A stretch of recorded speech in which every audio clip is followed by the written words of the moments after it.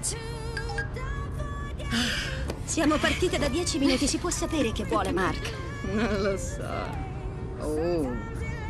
Oh, ok, questa è, è brutta. Ha scoperto che Lexi sta con Avery. È fuori di sé. Ah! Lascialo stare! Cavolo! Dai, questo, questo è un momento per noi. È solo per noi, e la prima cosa che puoi fare è parlare con Mark. Hai detto Io- che andava bene. Ok, va bene. Sai che ti dico? Chi se ne Che frega? cosa- Adesso, adesso parlo con Non lui. ti azzardare a chiamarlo.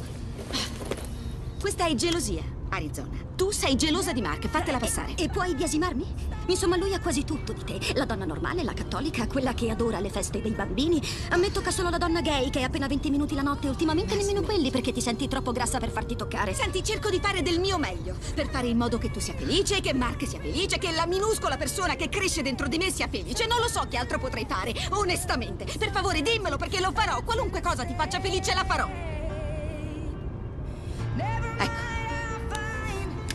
Comunque, si deve sfidare il sistema ogni tanto. Scommettere forte. Sposami. che Parlo sul serio. Ti amo più di qualsiasi cosa, ma voglio di più. Voglio impegni, voglio le fedi. Perciò